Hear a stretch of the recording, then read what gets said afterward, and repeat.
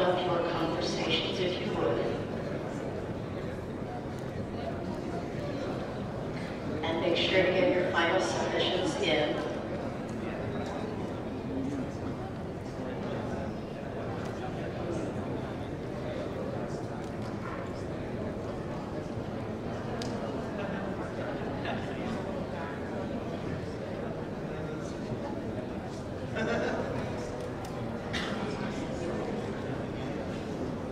Great. So if I may have your attention for just another moment. When you're complete with your conversations, please look up here.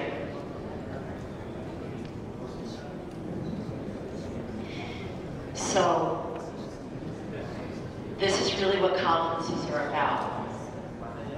It's a lot of very good conversations that you have with people that you respect, interrupted by people like me. So pardon me for that. And so what's going to happen is now we have this information. maksudnya live-nya.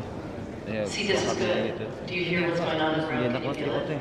Buzz, buzz, buzz, buzz, buzz. That means something good is happening.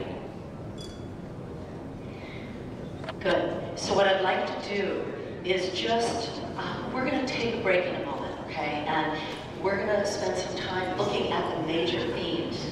When you come back from break, we will have those themes, and we'll be able to engage with Dr. Schein around these. Let me just say before you leave for break, we all know that the only person who really likes kalian juga kalau kalau change is a baby with a wet diaper. gue belajarnya begitu tuh. Gue belajar tim dia. Okay? So in a moment, I'm about to ask you to make a change. Is change comfortable? Is change comfortable? No? Can we just try something for a moment? Would everybody just kind of fold your arms? Just fold your arms for a moment. Yeah, great. Just the the way you normally do. Great. And now, would you please um, fold them the different way? A different, yeah. Right. What's what's that like? What's that? It's uncomfortable. What else is it? Is it strange? Unfamiliar? Great. Who here would like to do something strange, unfamiliar, and uncomfortable when you come back from break? Anybody? Oh, good. We have a few takers. Excellent. What we're going to do is ask all of you to find a new position in the room, to change your tables, and to sit with someone and people that you don't normally get a chance to interact with. Since Dr. Schein has told us everything is a social experiment, we're part of that. So we really need to take ourselves on. So we ask you to please change your position when you come back in. We'll see you in 15 minutes. Thank you very much. to be on board or to tell the truth or to trust the boss. And in fact, often where these other leadership um, models fail is where the subordinate actually withholds information or sometimes even lies and cheats, which then prevents the task of what the leader took on to be accomplished. So the key point we keep making is the relationship has to be an open, trusting relationship first.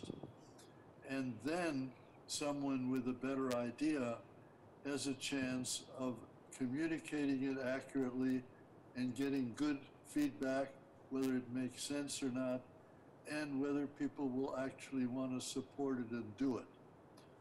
So that's, that's point one. That, that's helpful. Ed, can you hear me? And that Ed? leads in a way to what we mean by level two relationships, and there was a question about are there other levels? Can you hear me, Ed? Level minus one Okay. is pure domination, where someone with more power says, you know, I'm the boss, you will do whatever I tell you to do. The prison, the prison guard, the POW, those are level minus one relationships. Level one is the transactional relationship in which the roles are defined to work together, but the people in those roles are not necessarily motivated to, to do what the roles require.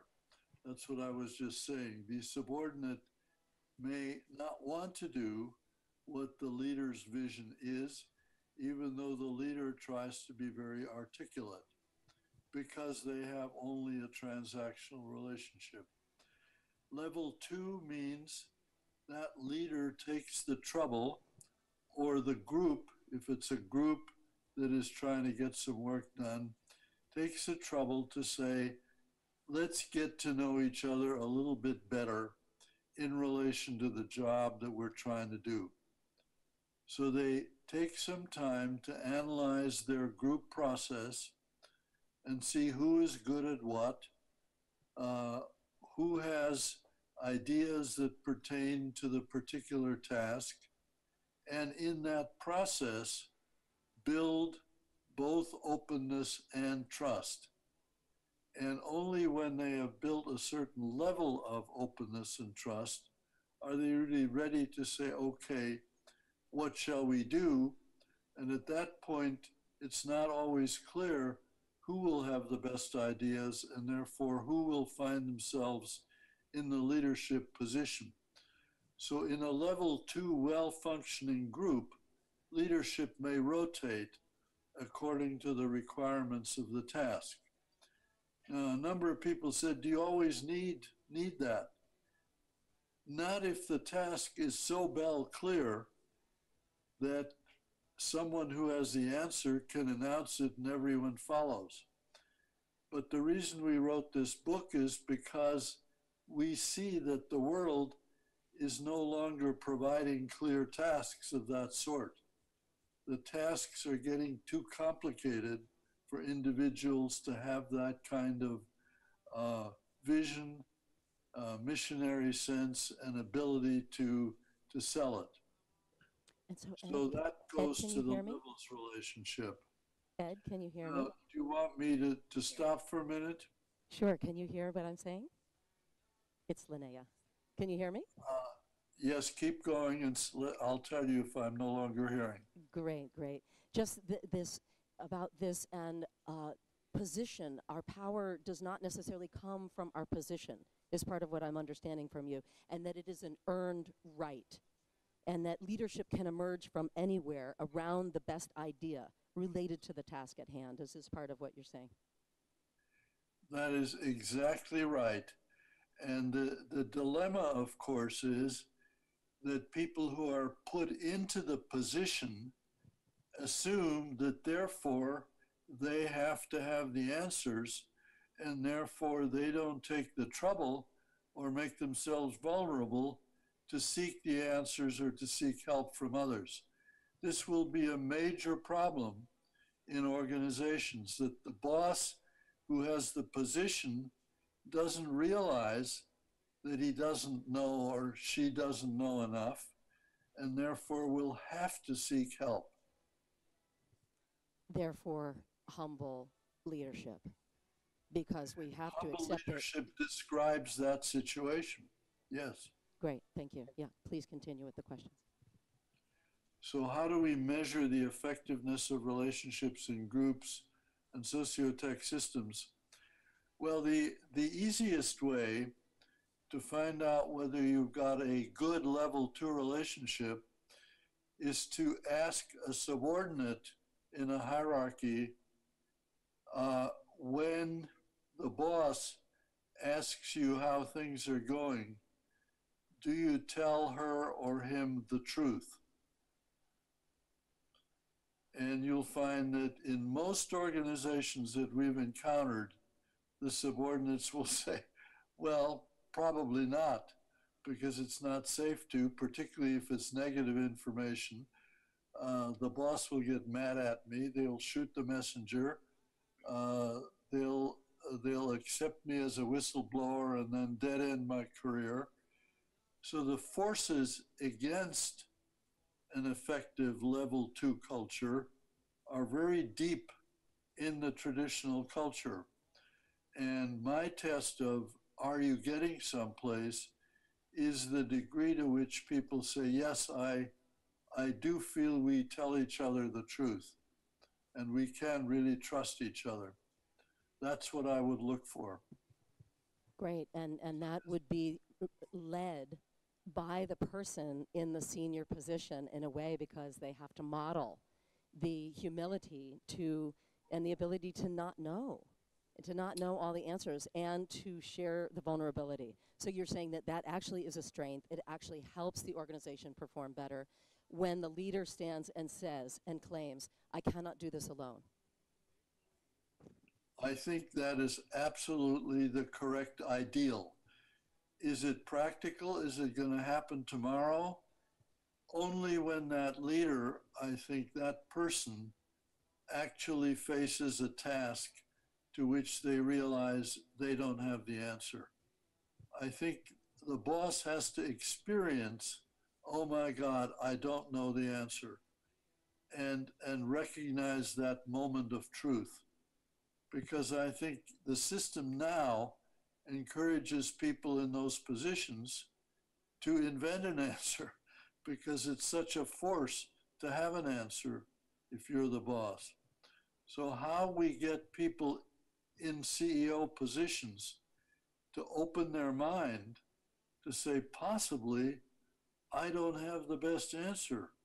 Possibly, I need some help that's, I think, the really tricky part of the how to that comes up in a lot of the questions of how do we get this instituted in a, in a very tall uh, power hierarchy where subordinates want answers. They want the boss to know to the point where the boss will feel she has to produce an answer so as not to disappoint her subordinates. So the greater the power distance, the harder this becomes. And yet it's going to be necessary. Yes, yes. And and if I may, just the more stable an organization has been and the longer it's been around, this becomes more challenging because they're used to very traditional ways of operating. And for instance, I'm working with Philip Morris. Anybody know about Philip Morris and the new business strategy that they've put in place? They have committed to a smoke-free future. That is truly unheard of. And you can imagine that they are doing a data-driven process to move themselves, but culturally, because they see that if they're moving into the digital arena, they've got to shift their culture. It is, and that means every single leader at the top. And that is my work to help them figure out how to operationalize humble leadership. That is really what you're saying. And it means they have to stand in, gee, I don't really know exactly how to do this. And they have to engage their people in not knowing and discovering it together.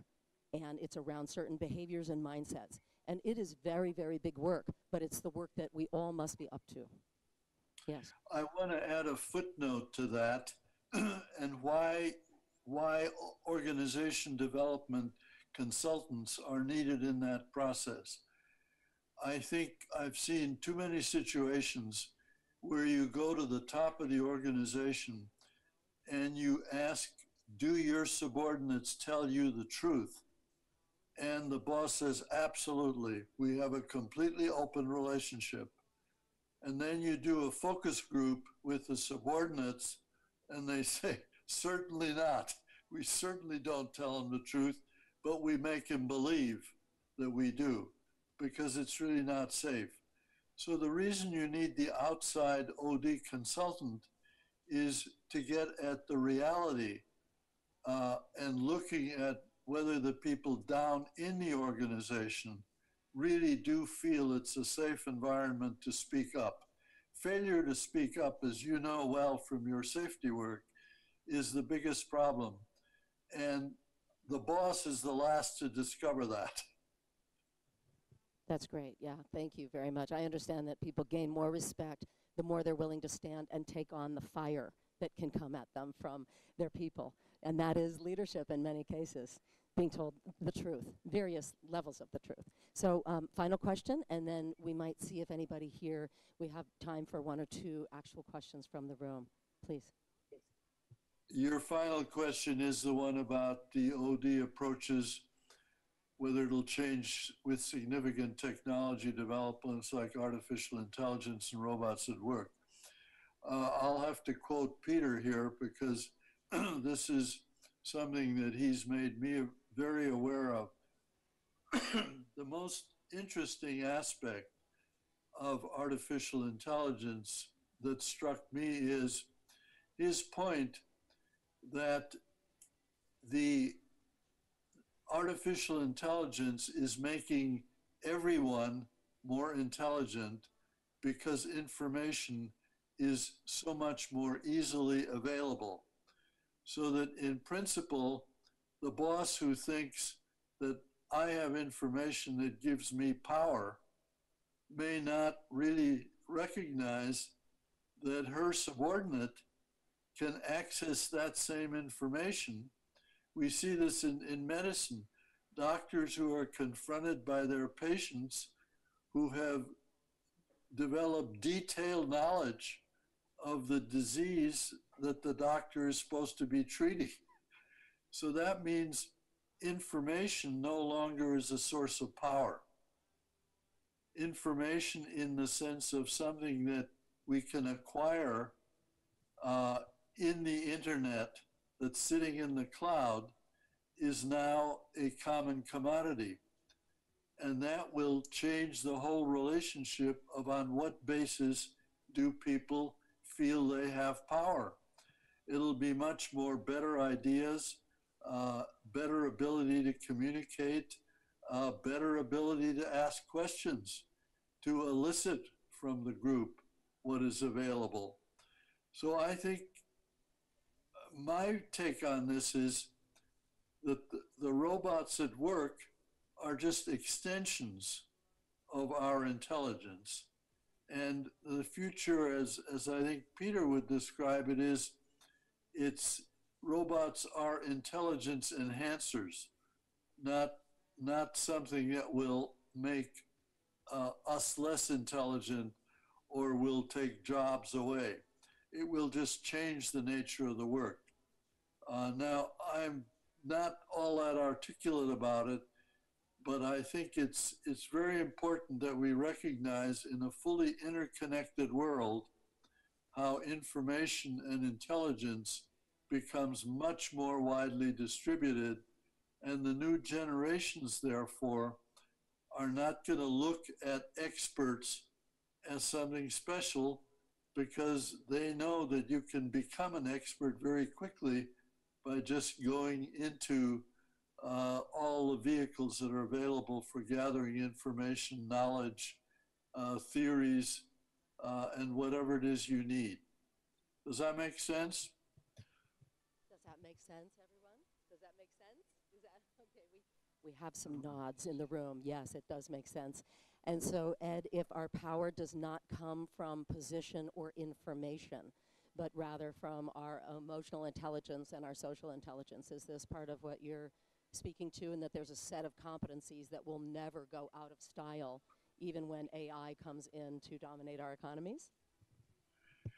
I think I, I very much believe that it is going to be a, a skill of being able to read the room, to see what's going on, to know how to ask questions. I don't like the word emotional intelligence because it covers just about everything. It's way, way too general a term. I think ability to manage relationships, uh, a more sociological concept, uh, ability to manage group dynamics, ability to help a group be in better communication, make better decisions. Uh, I like it to be more concrete than a vague term like emotional or social intelligence. I think a lot of it has to do with the literal, uh, literal ability to handle groups in all their varied forms. I'm very concerned, and we made this point in, in the Humble Leadership book, that the most important learning probably that is missing for most managers and most leaders in positions today is they don't know how to run meetings and they don't know how to run groups. They've never been taught. There are no workshops on group dynamics. There are no workshops on how to run an effective meeting. Uh, at least in the US, we just have all these negative images of meetings are a nuisance, committees are no good, they, they just diffuse accountability. All of that is going to have to go away because it's going to be as General McChrystal in his latest book on how the US military is changing. The title of the book is Team of Teams. Team of Teams. Not a boss running a team or developing a team, but teams coordinating with each other. And leadership will be distributed in those teams, and there will be coordinating roles, and there will be all kinds of evolutions of new roles. But it's going to be, in my view, all about groups rather than individuals and individual heroes. Excellent. Thank you so much. Please, one or two people, if you could, please come up and take the microphone and let Ed see your face here in the screen. And please ask a question on behalf of all of us. Um, when one person asks a question, oftentimes many of us have this question. So please, who's willing? Please come on up. A, a goose, right? A, a goose? Okay.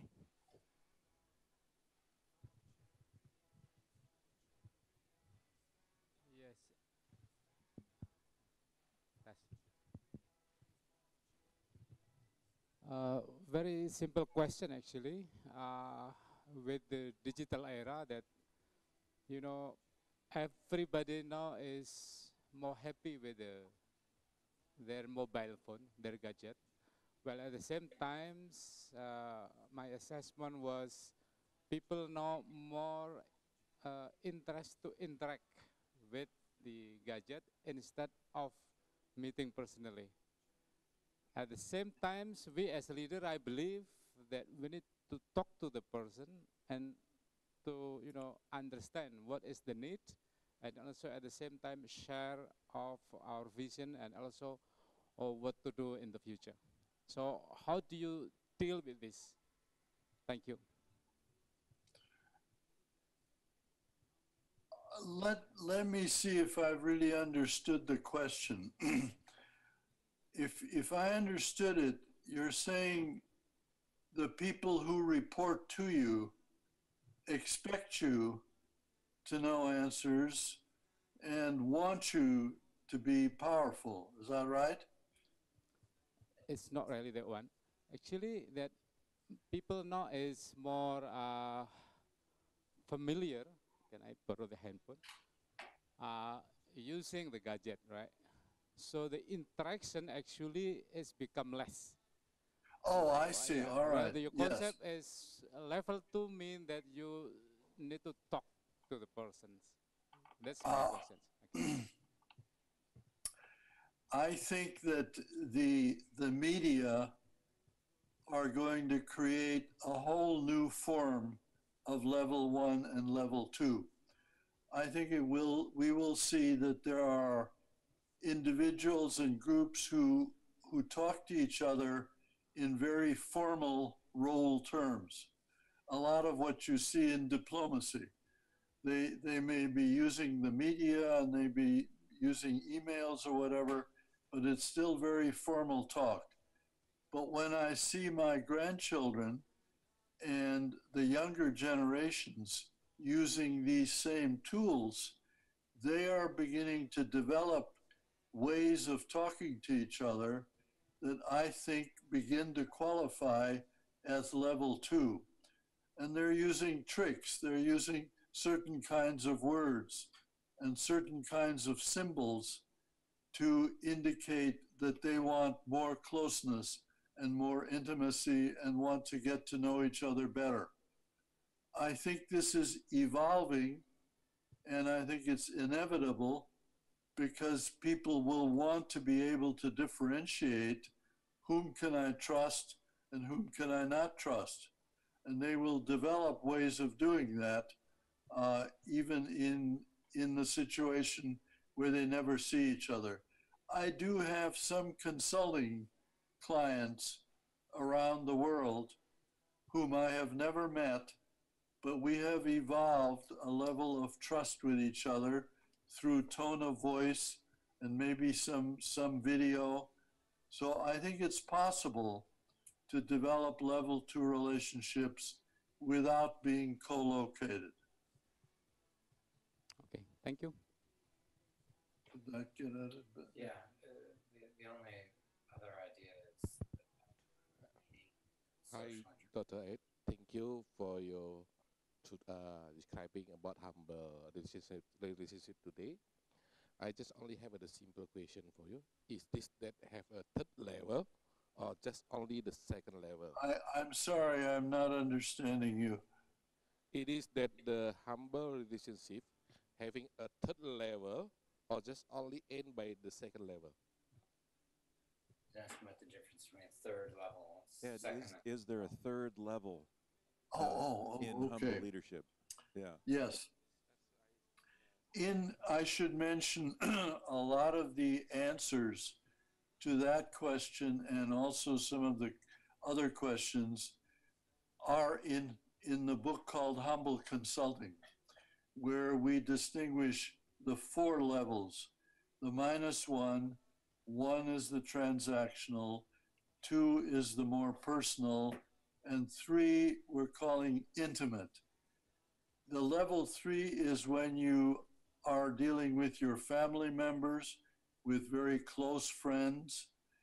And in some work situations, the nature of the work, for example, in some of these military groups like the Navy SEALs, uh, they probably develop something close to level three relationships because it's so important that they know each other intimately in order to get the job done. But I think in most ordinary work situations, we not only don't need level three, but in many organizations, we consider it wrong or inappropriate to get too close to people.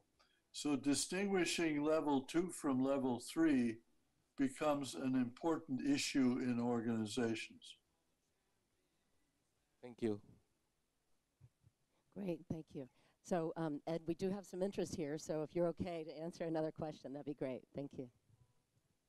Just so long as I understand the question, that's, that's the key. Good morning, uh, Dr. Schein.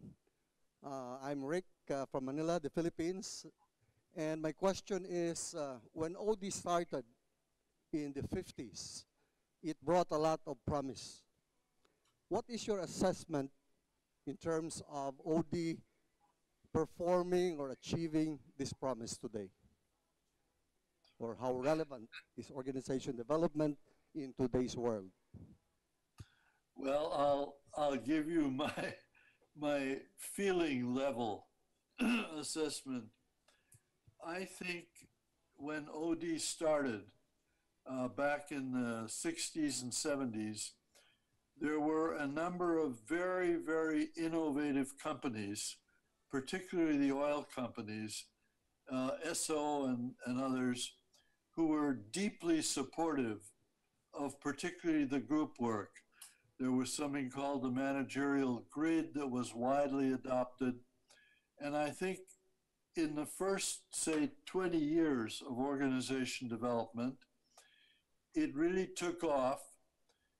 But what happened is that the companies recognized the importance of some of the OD principles, better communication, better relationships, and absorbed a lot of OD into the workings of the organization. So you found more and more organizations uh, developing OD departments. In my classes, I found more and more middle management students who had already had a lot of training in communication and relationships. So the question then of what else can OD do became the issue. And it turned out that when you get to the intergroup stage or developing the total organization, you had people like Peter Senge coming in with the learning organization. and you had other attempts. I think that's when the traditional managerial culture overrode some of the early efforts to do transformational work at the total system level. And that led to people like me and many others feeling like we are Sisyphus pushing a rock up a mountain. But the point is, several people now are saying to us, the mountain, however, may be moving a little bit. With the internet, globalism, uh, multiculturalism, more and more traditional leaders and managers are beginning to look for new answers. So we see all these effectiveness programs, lean programs, Six Sigma. All that means there is a growing hunger for a new approach to developing the whole organization. and I think OD will therefore find a, a, niche in that because I think OD does a better job than Six Sigma or Lean because it is more systemic and more learning oriented. So we still feel it's an uphill fight, but I think the, the tipping point may be closer to when suddenly companies will say, what we really need is not just the next version of the effectiveness program, which is all laid out, but we need the kind of openness and inquiry that the organization development consultant will bring to us that will enable us to do our own learning and our own improvement programs. So in that sense, I am hopeful. Thank you, uh, Dr. Schein. Thank you so much. And so I just want to check, uh, do a time check because we have our CEO um, summit or circle happening. What are we calling it? Yeah, the panel coming up. So uh, how are we on time, please? Is it time to, I'm, I'm so sorry for the, so, yeah, great. And so Ed, one of the things that, you know, I'm taking away is the vital role of the fact that we can't let the outer technology overrun the inner technology of our hearts.